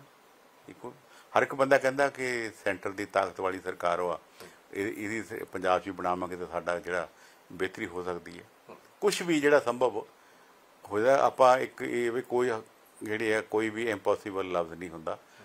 ਐਵਰੀਥਿੰਗ ਇਜ਼ ਪੋਸੀਬਲ ਜੀ। ਅਕਾਲ ਤਖਤ ਸਾਹਿਬ ਤੇ ਤੁਸੀਂ ਵੀ ਗਏ ਸੀ ਤੁਸੀਂ ਵੀ ਆਪਣਾ ਸਪਸ਼ਟੀਕਰਨ ਦੇ ਗਏ ਕਿਹੜੀਆਂ ਕਿਹੜੀਆਂ ਗਲਤੀਆਂ ਸਪਸ਼ਟੀਕਰਨ ਚ ਦੇ ਕੇ ਆਏ? ਦੇਖੋ ਉਹਨਾਂ ਨੇ ਕਿਹਾ ਜਿਹੜੇ ਮਿਨਿਸਟਰ ਆ ਉਹ ਵੀ ਆਪਣਾ ਸਪਸ਼ਟੀਕਰਨ ਦੇਣ। ਮੈਂ ਬੜਾ ਕਲੀਅਰਲੀ ਉਸ ਦਿਨ ਵੀ ਮੈਂ ਪ੍ਰੈਸ ਨੂੰ ਵੀ ਗੱਲ ਆਖੀ ਸੀ। ਮੈਨੂੰ ਕਹਿੰਦੇ ਸੀ ਵੀ ਜਿੰਨਾ ਟਾਈਮ ਮੈਨੂੰ ਮਿਨਿਸਟਰੀ ਦਾ ਮਿਲਿਆ ਜਿਹੜੇ ਮੈਨੂੰ ਮਹਿਕਮੇ ਮਿਲੇ ਆ ਉਹਦੇ ਵਿੱਚ ਕੋਈ ਇਹੋ ਜਿਹੀ ਗੱਲ ਤਾਂ ਨਹੀਂ ਹੈਗੀ ਜਿਹੜੀ ਮਤਲਬ ਮੇਰੇ ਕੋਲੋਂ ਕੋਈ ਕਿਤੇ ਅਵਗਿਆ ਹੋਈ ਹੋਵੇ ਕੋਈ ਹੋਰ ਗੱਲ ਹੋਵੇ। ਬਸ਼ਰਤੇ ਇਹ ਆ ਕਿ ਮੈਂ, ਉਹ ਮਹਿਕਮਾ ਸੀ ਮੇਰੇ ਕੋਲ, ਜਿਹਨੇ ਯਾਦਗਾਰਾਂ ਬਣਾਈਆਂ। ਜਿਹਨੇ ਜਿਹੜਾ ਬਰਾਤ ਤੇ ਖਾਲਸਾ ਬਣਾਇਆ, ਚੱਪੜ ਚਿੜੀ ਬਣਾਇਆ, ਜੰਗੇ ਆਜ਼ਾਦੀ ਬਣਾਈ, ਔਰ ਰਵਿਦਾਸ, ਗੁਰੂ ਰਵਿਦਾਸ ਜੀ ਦੀ ਯਾਦਗਾਰ ਬਣਾਈ ਆ। ਔਰ ਉਹਨਾਂ ਬਾਅਦ ਬਾਲਮੀਕ ਮਹਾਰਾਜ ਜੀ ਦੀ ਯਾਦਗਾਰ ਬਣਾਈ ਆ। ਅਸੀਂ ਉਹ ਕੰਮ ਕੀਤੇ ਆ, ਉਹ ਮੇਰੇ ਕੋਲ ਮਹਿਕਮਾ ਸੀ। ਜੇ ਉਹ ਮਾੜੇ ਆ ਤਾਂ ਮੈਂ ਗੁਨਾਹਗਾਰ ਆ। ਜੇ ਉਹ ਕੰਮ ਚੰਗੇ ਆ ਉਹਨੇ ਆਪਣਾ ਵਿਰਸਾ ਵੀ ਸੰਭਾਲਿਆ। ਆਪਣੇ ਧਰਮ ਵਾਸਤੇ ਵੀ ਇਹ ਯਤਨ ਉਪਰਾਲਾ ਕੀਤਾ। ਬਾਕੀ ਜੋ ਫੈਸਲਾ ਜਹਦਾ ਸਾਹਿਬ ਦੇਣਗੇ ਉਹ ਸਿਰੇ ਮੱਥੇ ਤੁਸੀਂ ਪ੍ਰਵਾਨ ਇੱਕ ਚੀਜ਼ ਕਰਾਂਗੇ। ਮੰਨਦੇ ਹੋ ਕਿ ਸੌਦਾ ਸਾਧ ਨੂੰ ਮਾਫੀ ਦੇਣੀ ਬੇਅਦਬੀ ਵਾਲਾ ਦੌਰ ਡੀਜੀਪੀ ਲਾਉਣਾ ਸਮੇਤ ਸੈਣੀ ਨੂੰ ਇਹ ਸਾਰੀਆਂ ਚੀਜ਼ਾਂ ਨੇ ਅਕਾਲੀ ਦਲ ਨੂੰ ਨਿਘਾਰ ਵੱਲ ਲੈ ਕੇ ਆਂਦਾ। ਇਹ ਸਾਰੀਆਂ ਗਲਤੀਆਂ ਸੀ। ਦੇਖੋ ਤੁਹਾਨੂੰ ਇਹ ਸਰਕਾਰ ਦੇ ਵਿੱਚ ਕਿੰਨੀ ਵਾਰੀ ਗੱਲ ਆਈ ਸੀ ਵੀ ਡੀਜੀਪੀ ਬਦਲੋ। ਜਾਂ ਬਦਲਿਆ ਜਾਣਾ ਚਾਹੀਦਾ। ਇਹਨਾਂ ਨੂੰ ਜਦੋਂ ਇਹਨੀ ਪਹਿਲਾਂ ਉਦਾਂ ਲਾਤੇ ਬਾਅਦ ਵਿੱਚ ਪੈਨਲ ਬਣਾ ਕੇ ਭੇਜਿਆ। ਸੈਂਟਰ ਤੋਂ ਉਹਦੀ ਮਨਜ਼ੂਰੀ ਮਿਲ ਗਈ ਉਹ ਨਹੀਂ ਬਦਲਿਆ ਗਿਆ ਲੱਗ ਗਿਆ। ਇੱਕ ਸਿਸਟਮ ਬਣਿਆ ਆ। ਤਿੰਨ ਨਾਂ ਸਟੇਟ ਗਵਰਨਮੈਂਟ ਹਮੇਸ਼ਾ ਭੇਜਦੀ ਆ। ਹੂੰ ਉਹਦੇ ਵਿੱਚੋਂ ਸੈਂਟਰ ਚੂਜ਼ ਕਰਕੇ ਉਹਨੂੰ ਕਮੇਟੀ ਸਿਲੈਕਟ ਕਰਕੇ ਭੇਜ ਦਿੰਦੀ ਆ। ਉਹ ਸਿਲੈਕਟ ਹੋ ਗਿਆ ਲੱਗ ਗਿਆ। ਜਿਹੜਾ ਮਾਫੀ ਦੀ ਗੱਲ ਆ ਹੈ ਹੈ ਮੇਰੇ ਰੁਤਬੇ ਤੋਂ ਉੱਪਰ ਦੀ ਗੱਲ ਆ ਕਿਉਂਕਿ ਜਹਦਰ ਸਾਹਿਬਾਂ ਦੇ ਇਹ ਫੈਸਲੇ ਆ। ਮੈਂ ਉਹਨਾਂ ਤੇ ਕਿੰਤੂ ਕਰਾਂ ਵੀ ਉਹਨੇ ਕਾਹਤੇ ਕਰਤੀ ਆ ਉਹ ਕਰਤੀ। ਪਰ ਇੱਕੋ ਮੈਂ ਜ਼ਰੂਰ ਗੱਲ ਕਹਿਣੀ ਚਾਹੁੰਦਾ ਵੀ ਜੇ ਉਹ ਗੱਲ ਉਹਨਾਂ ਨੂੰ ਚੰਗੀ ਨਹੀਂ ਸੀ ਲੱਗਦੀ ਕਿ ਇਹਨੂੰ ਮਾਫ ਕਰਨ ਦੇ ਨਾਲ ਕੋਈ ਸਿੱਖ ਕੌਮ ਦਾ ਨੁਕਸਾਨ ਹੁੰਦਾ, ਤਾਂ ਸਿੰਘ ਸਾਹਿਬਾਨ ਨੂੰ ਉਹ ਮਾਫੀ ਨਹੀਂ ਦੇਣੀ ਚਾਹੀਦੀ ਸੀ। ਜਿਸ ਵੇਲੇ ਰੌਲਾ ਪਿਆ, ਉਸ ਵੇਲੇ ਤਾਂ ਦੁਬਾਰਾ ਉਹਨੂੰ ਕੈਨਸਲ ਕੀਤਾ। ਉਹ ਸਿੰਘ ਸਾਹਿਬਾਨ ਪਹਿਲਾਂ ਹੀ ਕਰ ਦਿੰਦੇ, ਨਾ ਹੀ ਦਿੰਦੇ, ਕਿਉਂਕਿ ਬੜੇ ਬੁੱਧੀਜੀਵੀ ਸਿਆਣੇ ਬੰਦੇ ਦੂਜੇ ਅਸੀਂ ਤਾਂ ਉਹਨਾਂ ਮੋਰੇ ਕੁਝ ਬਾਅਦ ਵਿੱਚ ਰੌਲਾ ਵੀ ਪਿਆ ਵੀ ਮਾਫੀਨਾਮਾ ਤਿਆਰ ਕੀਤਾ ਗਿਆ, ਵੀ ਇਹ ਤਾਂ ਮਾਫੀਨਾਮਾ ਹੈ ਹੀ ਨਹੀਂ ਸੀ। ਮਾਫੀ ਮੰਗੀ ਨਹੀਂ ਸੀ ਇਸ ਬਾਰੇ ਤੁਹਾਨੂੰ ਪਤਾ ਕੁਛ? ਜਿੰਨਾ ਕਿ ਮੈਨੂੰ ਪਤਾ ਆ ਕਿ ਇਹ ਇਹਦੇ ਪਿੱਛੇ ਵੀ ਕਈ ਗੱਲਾਂ ਸੀ ਕਿਉਂਕਿ ਹਰ ਸਿਆਸੀ ਪਾਰਟੀ ਜਿਹੜੀ ਆ ਅੱਜ ਡੇਰਿਆਂ ਤੇ ਸੰਤਾਂ ਕੋ ਦੂਜੇ ਜਾਂਦੀ ਹੈ ਕੋਈ ਮੁਨਕਰ ਨਹੀਂ ਹੋ ਸਕਦਾ। ਸਾਰੀ ਜਾਂਦੇ ਜੇ ਕੋਈ ਕਹੇ ਨਾ ਵੀ ਇਹਦੇ ਵਿੱਚ ਮੈਂ ਨਹੀਂ ਜਾਂਦਾ ਸਾਰੇ ਜਾਂਦੇ ਆ। ਕੋਈ ਕੋਈ ਰਾਹ ਸਵਾਮੀ ਦੇ ਜਾਂਦਾ ਕੋਈ ਹੁਣ ਵੀ ਉਹਦੇ ਬਾਅਦ ਚ ਵੀ ਜਾਂਦੇ ਸਾਰੀਆਂ ਪਾਰਟੀਆਂ ਜਾਂਦੀ ਜਾਂਦੀਆਂ ਰਹੀਆਂ। ਪਰ ਅਕਾਲੀ ਦਲ ਅਕਾਲੀ ਦਲ ਦਾ ਸਿਧਾਂਤ ਉਲਟ ਸੀ ਇਸ ਤੋਂ ਵੱਖਰਾ ਨਹੀਂ ਸੀ। ਮੈਂ ਜਿਹੜੀ ਗੱਲ ਕਰ ਰਿਹਾ। ਮੇਰਾ ਮਤਲਬ ਇਹ ਹੈ ਵੀ ਜਿਸ ਵੇਲੇ ਰਾਜੀ ਉਹਨਾਂ ਨੂੰ ਦਿੱਤਾ ਵੀ ਹੈ, ਉਸ ਵੇਲੇ ਵੀ ਕੋਈ ਨਾ ਕੋਈ ਪੋਲੀਟੀਕਲ ਪਾਰਟੀ ਉੱਥੇ ਇਸ ਗੱਲ ਲਈ ਜਾਂਦੀ ਸੀ ਕੰਪੈਲ ਕਰਦੀ ਸੀ ਵੋਟਾਂ ਨੂੰ। ਉਹ ਪਹਿਲਾਂ ਕਿਤੇ ਹੋਰ ਪਾਰਟੀ ਨਾਲ ਸੀ। ਜਿਵੇਂ ਹੋਇਆ ਤੇ ਅਗਲੇ ਨੇ ਵੀ ਹੁੰਦੀ ਗੱਲ ਯਾਰ, ਤੁਸੀਂ ਸਰਕਾਰ ਦੇ ਵਿੱਚ ਤਾਂ ਹੁਣ ਆ ਗਏ ਹੈਗੇ ਆ। ਆ ਮੇਰਾ ਮਸਲਾ ਹੱਲ ਕਰਾ ਦਿਓ। ਤੇ ਮੇਰੇ ਤੋਂ ਗਲਤੀ ਹੋ ਗਈ, ਮੈਨੂੰ ਮਾਫੀ ਦਵਾ ਦਿਓ। ਹੁਣ ਗਲਤੀ ਨਾ, ਉਹਨੇ ਗਲਤੀ ਲਿਖਤੀ ਮੰਗ ਭੇਜਿਆ, ਲਿਖਤੀ ਮਾਫੀਨਾਮਾ। ਜੇ ਲਿਖਤੀ ਮਾਫੀਨਾਮਾ ਉਹਨੇ ਭੇਜਿਆ, ਇਹ ਤਾਂ ਫਿਰ ਜਿਹਨੇ ਮੈਂ ਕੋਈ ਇੱਥੇ ਸਿਰ ਜਦੋਂ ਛੋਟੇ ਹੁੰਦੇ ਸੀ ਫੀਸ ਮਾਫੀ ਦੀ ਅਰਜੀ ਲਿਖਦੇ ਸੀ। ਹੂੰ। ਵੀ ਮੇਰੀ ਫੀਸ ਮਾਫੀ ਕੀਤੀ ਮਾਫ ਕੀਤੀ ਜਾਵੇ। ਉਹ ਤਾਂ ਜਿਹੜਾ ਕੰਸਰਨਡ ਤੇ ਚੇਅਰ ਆ ਅਤੇ ਮੁੱਖ ਅਧਿਆਪਕ ਸੀ ਜਾਂ ਪ੍ਰਿੰਸੀਪਲ ਸੀ ਉਹਨੂੰ ਦੇਖਣਾ ਮਾਫ ਕਰਨੀ ਕਿ ਨਹੀਂ ਕਰਨੀ। ਅਗਲੇ ਨੇ ਆਪਣੀ ਰਿਕੁਐਸਟ ਭੇਜਤੀ ਮੇਰਾ ਧਰਮ ਹੋ ਰਿਹਾ ਮੈਨੂੰ ਪਤਾ ਨਹੀਂ ਸੀ ਮੈਨੂੰ ਮਾਫ ਕਰਤਾ ਜਾਵੇ। ਨਾ ਮਾਫ ਕਰਤੇ। ਉਹ ਚੇਲਾ ਦਾ ਕਹਿੰਦਾ ਵੀ ਤਿਆਰ ਕੀਤਾ ਸੀ ਸਾਰਾ ਮਾਫੀ ਉਹ ਦੇਖੋ ਇਹ ਤਾਂ ਚੇਲੇ ਪੋਲੀਟੀਕਲੀ ਪਾਰਟੀਆਂ ਬਹੁਤ ਕੁਝ ਤਿਆਰ ਕਰ ਲੈਂਦੀਆਂ ਹੁੰਦੀਆਂ। ਤੇ ਇਹ ਤਾਂ ਇਹ ਕੀ ਗੱਲਾਂ ਆ? ਇਹ ਉਹ ਗੱਲਾਂ ਕਰਦੇ ਰਹਿੰਦੇ ਹੁੰਦੇ ਸਾਰੀ ਗੱਲ ਉਹ ਚੇਲਿਆਂ ਦਾ ਪਤਾ ਹੀ ਆ ਵੀ ਉਹਨੂੰ ਕਿਹਨੇ ਦੇ ਦਿੱਤੇ ਦੂਜੇ ਨੂੰ। ਇਹਨਾਂ ਨੂੰ ਤਾਂ ਨੇੜੇ ਵੀ ਨਹੀਂ ਤੋਂ ਜਾਣ ਦਿੱਤੇ ਦੋ ਦੋ ਬੰਦਿਆਂ ਦੀ ਤਾਂ ਗੱਲ ਸੀ ਇੱਕ ਉਹ ਬੀਬੀ ਜਿਹੜੀ ਸੀ ਤੇ ਇੱਕ ਦੂਜੇ ਦੀ। ਬਾਕੀ ਲੋਕਾਂ ਦੀ ਕੀ ਜ਼ਰੂਰਤ ਸੀ ਕਿ ਉਹ ਜਾ ਕੇ ਇਦਾਂ ਇਹ ਗੱਲ ਕਰ ਸਕਣ। ਬਹੁਤ ਬਹੁਤ ਧੰਨਵਾਦ ਬਹੁਤ ਬਹੁਤ ਧੰਨਵਾਦ ਜੀ ਹਾਂ ਜੀ। ਤਾਂ ਸੋਹਣ ਸਿੰਘ ਠੰਡਲ ਸਾਡੇ ਨਾਲ ਵਿਵਾਕੀ ਦੇ ਨਾਲ ਗੱਲਬਾਤ ਕਰ ਰਹੇ ਸੀ ਤਾਂ ਕਈ ਅਹਿਮ ਗੱਲਾਂ ਸਾਂਝੀਆਂ ਵੀ ਕੀਤੀਆਂ ਨੇ। ਇਹਨਾਂ ਨੇ ਕਿਹਾ ਕਿ ਮੈਨੂੰ ਤਾਂ ਆਪ ਨਹੀਂ ਪਤਾ ਸੀ ਕਿ ਪਾਰਟੀ ਛੱਡਣੀ ਪਵੇਗੀ, ਪਰ ਇਹਨਾਂ ਦੇ ਲਈ ਵੀ ਔਖਾ ਫੈਸਲਾ ਸੀ ਤਾਂ ਵਰਕਰ ਵੀ ਕਿਤੇ ਨਾ ਕਿਤੇ ਨਾਰਾਜ਼ ਹੋਏ ਨੇ ਤਾਂ ਉਹ, ਉਹਨਾਂ ਨੂੰ ਵੀ ਮਨਾਉਣ ਦਾ ਲਗਾਤਾਰ ਯਤਨ ਆ। ਪਰ ਮੁਕਾਬਲਾ ਬੜਾ ਦਿਲਚਸਪ ਰਹਿਣ ਵਾਲਾ ਹੈ। ਤਾਂ ਇਹਨਾਂ ਨੇ ਸਵਾਲ ਵੀ ਚੁੱਕੇ ਨੇ ਡਾਕਟਰ ਰਾਜਕੁਮਾਰ ਚੱਬੇਵਾਲ ਤੇ ਕਿ ਕਿਸ ਤਰ੍ਹਾਂ ਉਹਨਾਂ ਦੇ ਕੋਲ ਸਾਰੀਆਂ ਚੀਜ਼ਾਂ ਆਈਆਂ ਨੇ। ਕਈ ਚੀਜ਼ਾਂ ਨੂੰ ਲੈ ਕੇ ਸਵਾਲ ਖੜੇ ਕੀਤੇ ਨੇ ਤੇ ਆਉਣ ਵਾਲੇ ਦਿਨਾਂ ਦੇ ਵਿੱਚ ਪੰਜਾਬ ਦੀ ਸਿਆਸਤ ਹੋਰ ਵੀ ਜ਼ਿਆਦਾ ਗਰਮਾ ਸਕਦੀ ਆ। ਪੰਜਾਬ ਦੀਆਂ ਚਾਰ ਸੀਟਾਂ ਤੇ ਜਿਮਨੀ ਚੋਣਾਂ ਹੋ ਰਹੀਆਂ ਨੇ ਗਿੱਦੜਬਾਹਾ ਡੇਰਾ ਬਾਬਾ ਨਾਨਕ ਤੇ ਚੱਬੇਵਾਲ ਤਾਂ ਇਹਨੂੰ ਲੈ ਕੇ ਆਉਣ ਵਾਲੇ ਦਿਨਾਂ ਦੇ ਵਿੱਚ ਹੁਣ ਜਿਹੜਾ ਮੈਦਾਨ ਆ, ਉਹ ਪੂਰੀ ਤਰੀਕੇ ਦੇ ਨਾਲ ਪੱਕ ਚੁੱਕਿਆ ਹੈ। ਸਾਥੀ ਸੁਖਜਿੰਦਰ ਸਿੰਘ ਦੇ ਨਾਲ ਕੁਲਦੀਪ ਸਿੰਘ ਪੋੜੇ, ਰਜਾਨਾ ਸਪੋਕਸਮੈਨ ਟੀਵੀ ਚੱਬੇਵਾਲ